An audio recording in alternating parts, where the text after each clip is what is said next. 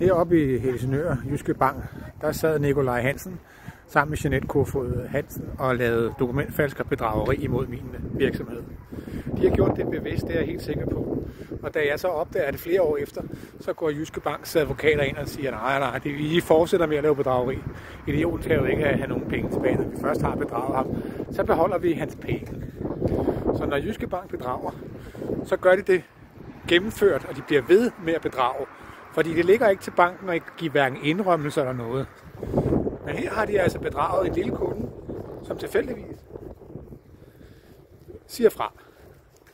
Og når man som, som jeg, lille bitte kunde i Jyske Bank, opdager, at Jyske Bank har lavet bedrageri, har lavet dokumentfalsk, har lavet mandatsvig, og de nægter det. Selv har de slettet mit pantebrev, og jeg gav dem at vide, at det måtte de ikke, og jeg ville have det. Så sletter de, det kunne hjælpe med. Og de nægter at udlevere det. Jeg bliver så sur på dem.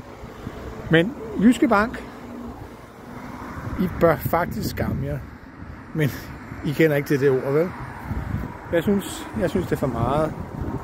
Jeg synes, det er for meget, at man som lille kunde skal kæmpe mod en bank, der laver vandhjelmen. Men hvad skal man gøre, når staten, myndighederne, statsministeriet, justitsministeriet, domstolsstyrelsen, alle, en hel masse personer i, i myndighederne dækker over Jyske Banks bedrageri? Hvad skal man så gøre som lille kunde?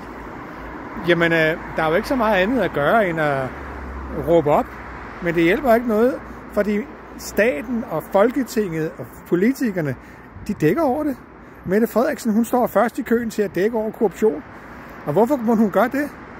Kunne være, at hun kendte lidt til korruption, eller hvordan det virker inde i systemet, når man betaler folk for at holde deres kæft. Kan I have det godt? Hej med jer.